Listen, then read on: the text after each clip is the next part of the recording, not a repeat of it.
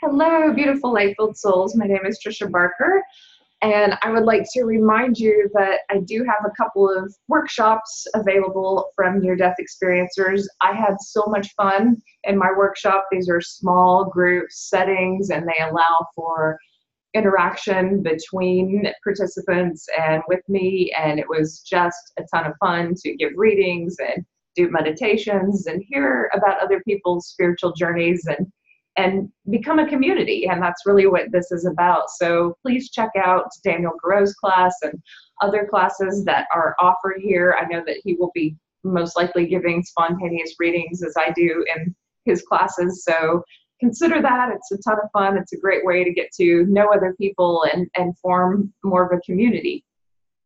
Today, I would like to answer some questions that people have asked me. I have been blogging for over two years now, and what a journey that has been. And I have also been making videos now in August for two years. I can't believe it. It's been so much fun to connect with people who watch these videos and to interview amazing researchers and writers and near death experiencers and really just kind, wonderful souls who are out there spreading the wonderful news about their experiences and their insights and connecting with you. It's it's just been amazing. I was in Santa Barbara a couple of weeks ago and I met some lovely women who recognized me from my YouTube channel and I was really excited to meet people who have been watching some of these interviews and benefited from them. It really touches my heart. So today I would like to answer the first question and I get asked this a lot and that is how certain are you of your near death experience? So agnostics and people who are not uh, fully convinced want to know. They want to, you know, one to 10 type of answer on a scale of one to 10. How certain am I about my near death experience? Am I certain that it wasn't my brain shutting down or a dream or a hallucination?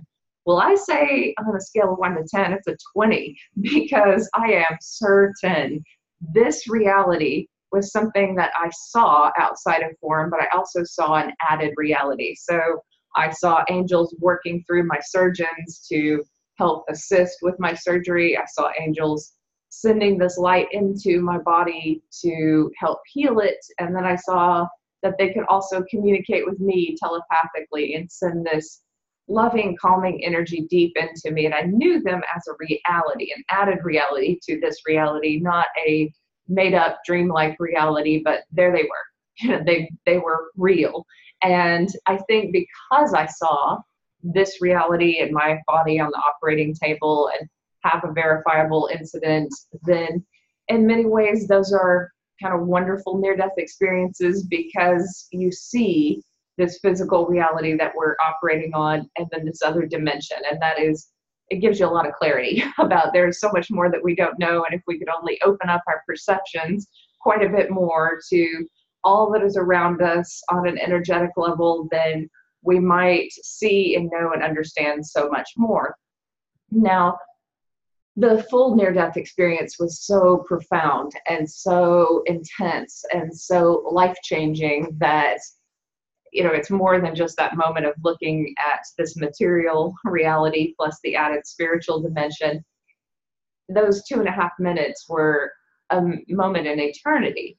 And when you experience eternity and then come back to this life and this form and live it in linear fashion, then your whole life is just, it's different, it's changed. And I struggled with the words to express my experience. Because if you think of, I was 22 when I had my near death experience, and if you think of all the learning, and I'd read the Bible several several times, I had been in church as a kid, I had listened to my elders, I had I had read literature. I was a, an English major, so I had taken many philosophy classes, and you compress all that learning into comparison to what those two and a half minutes outside of my body in eternity were like and it was like a second.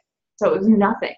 And that that comparison to me is what makes the near death experience so profound because all of that learning which was often intellectual sometimes spiritual i did have some spiritual experiences as a child uh, still it was like just a drop in the bucket compared to existing very clearly in eternity and seeing life from this different perspective.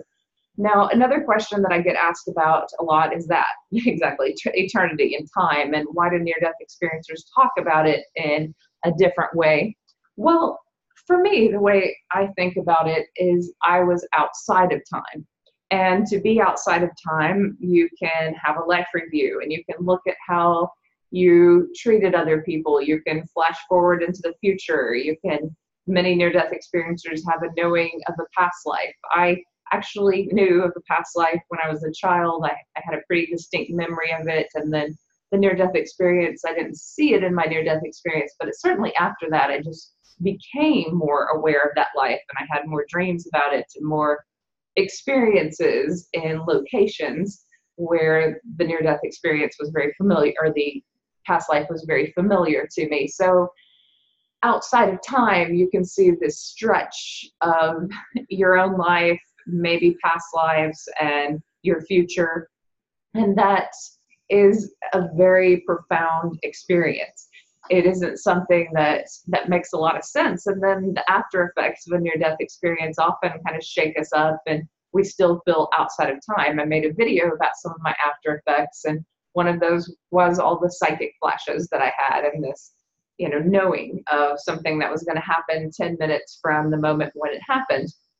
I think that this being out of time can be a wonderful experience a wonderful learning experience especially in the life review because it allows you to think about well how do i want to be different? How can i be kinder to other people? How can i give the type of loving energy and compassion that others need because that's something that i saw in my life review even our thoughts and our judgments can hurt others so why not just give loving compassionate energy and why not believe in the best in others I think I became a lot more conscious of my actions. And then when I saw other people acting from unconscious behavior, I, I was really kind of shocked. I was like, I didn't understand what unconscious behavior was. I was like, you mean you don't just kind of sit somewhere above yourself and look down at yourself and kind of analyze what you're doing and, and you're not conscious of most everything that you're doing. And I realized that people aren't. And this was just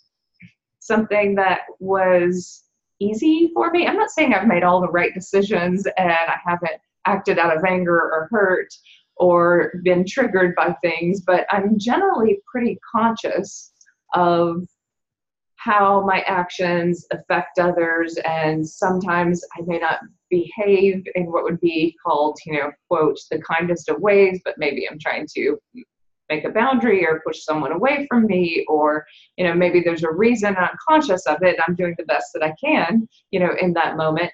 But there are people who literally just are not conscious of what they're doing, and that shocked me. So maybe that timelessness uh, allows for a greater knowing of what of what we're doing with our actions and in a sense. So that's that's one theory. I'm not sure about it but that's something i'm kind of noodling on and thinking about. The final question that i'm going to answer in this video is one about being a part of God? Are we like a drop in the ocean? Are we like part of creation and we're just this blooming of creation like a flower or a child that's being developed, you know, and you know, one of us might be the fingertip and you know, how are we all connected in to God? And that's a beautiful question. All I know is that I vastly underestimated my goodness, my power, my importance. And I really didn't think of myself as very important at all before my near death experience. I thought of myself as as scared and weak and harmed and desperate, you know, for some material success in this world and survival. And that was really just kind of the place where I existed. And then after my near death experience, I really saw that, well, my purpose is to remember that I'm connected to God. I mean, that's it. And it doesn't nothing else really matters all that much. And if i can remember that i'm connected to god then i'm going to be of service and of help to others and i'm going to have great compassion and love for others.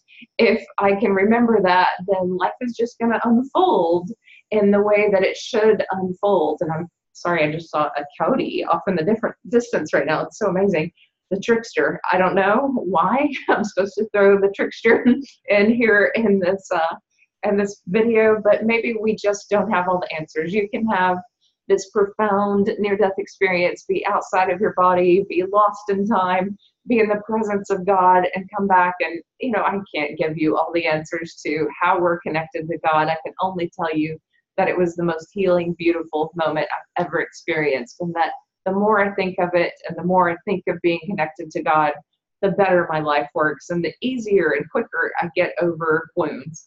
And I also know that the more I think about my connection to God, I know that I feel better when I'm connected to others. There was a terrible wreck that I saw in the road today, and we were able to pull over, and I got out and was able to be with this older couple and remind them they were so traumatized and shaking not to move. Their car wasn't on fire. And it just gave me great peace that I could be the one to be there with them and remind them not to move, as someone had done for me when I had my car wreck. You know, a nurse stayed with me and she reminded me not to move and that the ambulance would be there soon. And and her kindness and her love was essential on my journey. I might have moved and gotten out of the car and harmed myself had she not been there. And I think that we are connected and we are this one big, beautiful human family. And although there's a lot of destruction and a lot of pain, there's also people who are helping and people who are loving and people who are giving their love to others and trying to make this world a better place. And sometimes even just a funnier place and a more joyful place. And and that's what we need to be observing and emphasizing and watching and doing ourselves. And that's really the best takeaway from a near death experience is just be of service to others. And yes we're all part of god in one way or another. So reach out to those who you can in the ways that you can whenever you're given the opportunity. Be a helper be a servant because that really is more important than any other spiritual truth is what are you doing to help other people? And I mean, I learned that on a deep, profound level. On the other side, you know, don't harm others and do what you can to help others, and you're on the right track. So that's my message for tonight. Thank you for your questions. I know I only answered three of them, but there will be more videos, and I'm really excited. I have a lot of good news that has come to me in the past couple of weeks, but it's good news that I knew was coming. You know, on some level, my book is a lot closer to being published and being out there and what I want for it. And in those final revisions, if I'm asked to do any, I really just want this book to be something that heals someone who reads it. Over the years, I have been healed by people who've just been brave enough to talk about issues in their lives and how they got through them. So, on some level, my book is just a memoir, but it's a, a memoir about certain issues that are also common child abuse and sexual assault, but also a near death experience and how that learning from the afterlife allows you to walk through anything and to be of service. And certainly, I have learned that I can be of service to people who have suffered in the ways that I've suffered and that's really my pain and what I've gone through has made me a much stronger person than I ever dreamed possible. And, you know, we can either be toppled by situations or we can really work through them and we can really embrace the freedom that comes with knowing that we're more than this form, we're more than this journey. We are part of God and we're here to remind others of that and we're here to bring more love and more joy to the lives of others. So I hope that you go out there and do that this week. Be of service and be be the love of God for others in your life. So thank you very much for listening, and I will be talking with you more soon. May be blessed.